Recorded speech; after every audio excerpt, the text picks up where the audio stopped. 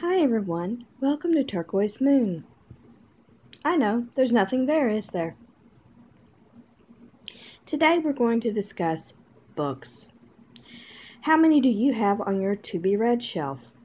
I have a few, and we're going to go through them and I'm going to explain why I have them. First of all, this was a gift from a sweet, sweet dear friend. It's an old book. It is a secondhand book. It is The Teachings of Don Juan. A, I can't pronounce the word, way of knowledge. And this is the author, Carlos Castaneda. This is, it, like I said, it's a secondhand book. She bought it and sent it to me because she had already had one and she just didn't want it to go to waste. She said it was a good book, that she was enjoying it, and she and I went through the loss of a parent at really close to the same time, which is strange because my best friend from high school lost her mother very close to the same time I lost my father. This was the card that she gave me. It is so beautiful. Um, she says, P.S. I bought this card from Pisces Rising in her Etsy. If she's not, if she's out, you can direct message her on Instagram, and she has lovely writing cards. And this was on May the 26th of 2017. There's the backing.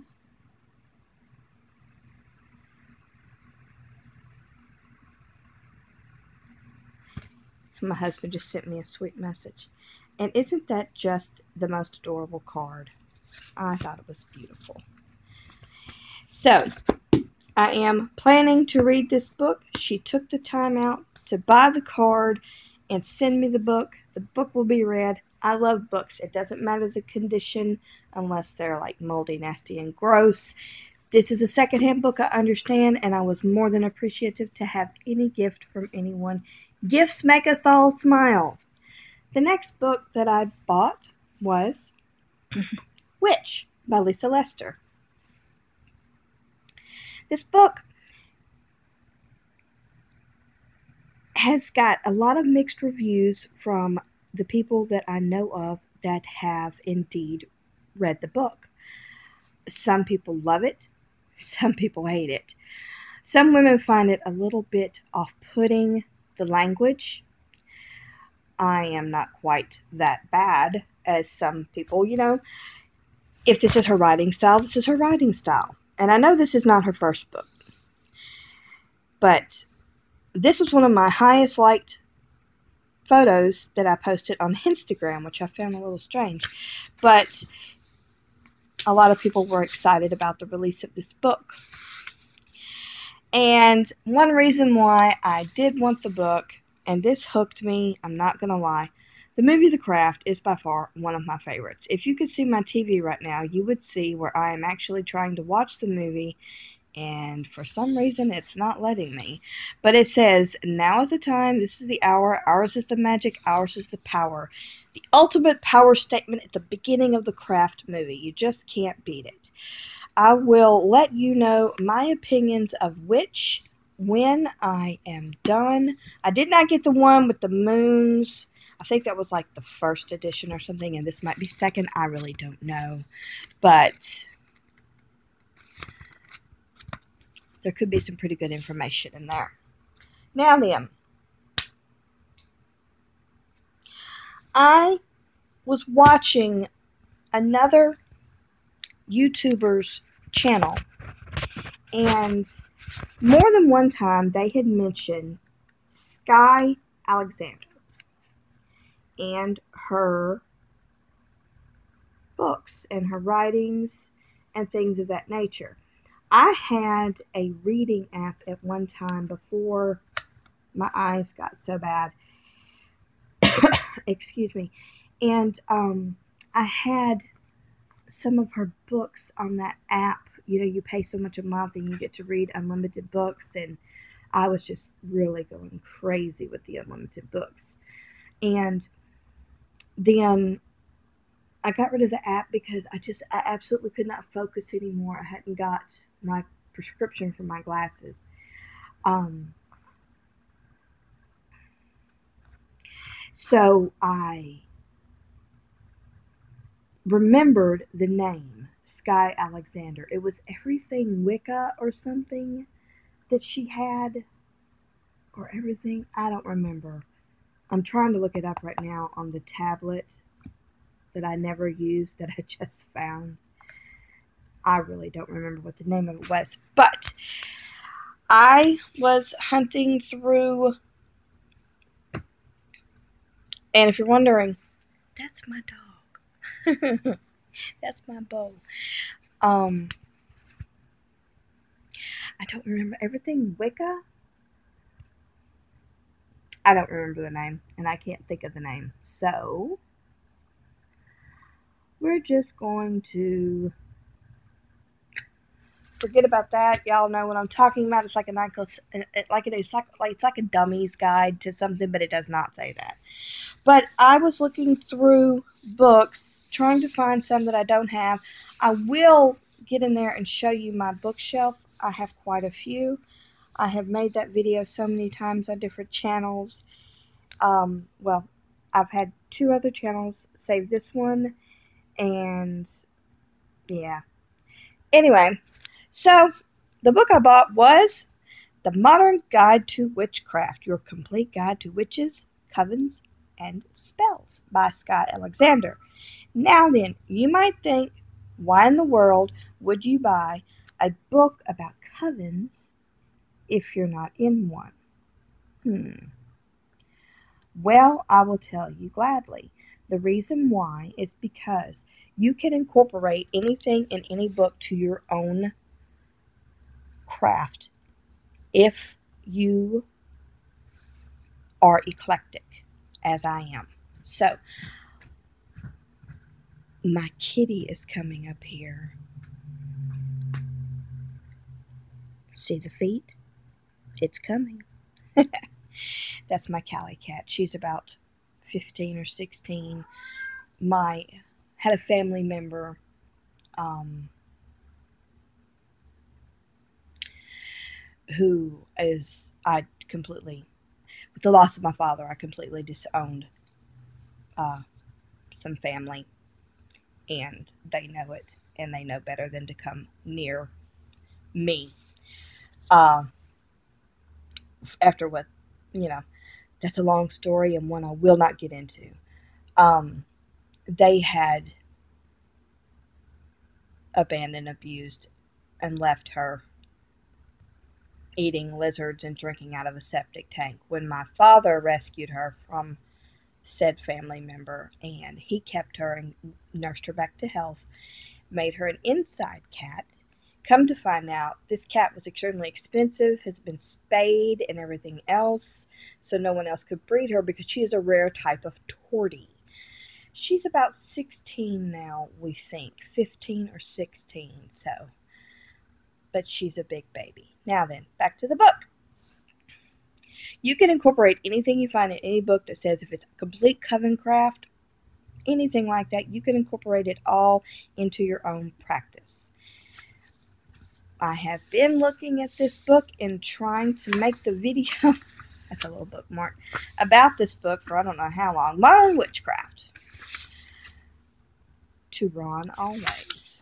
This is not a hay house. This is Adams, I believe. Yes, Adams Media. The contents page. Let's take a good look at the contents. It says, Welcome to the wonderful world of witchcraft. What is witchcraft? And I'm not going to read all those to you. I'm going to hold that there and you can pause it and read them if you like.